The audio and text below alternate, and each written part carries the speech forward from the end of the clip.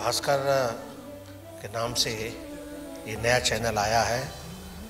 इसकी हम बहुत सारी शुभकामना करते हैं, उज्जवल भविष्य की कामना करते हैं और ये बड़े चैनलों में इसकी गिनती हो और सही समाचार समाज को दिखा सके, कायना दिखा सके, इसकी हम कल्पना करते हैं।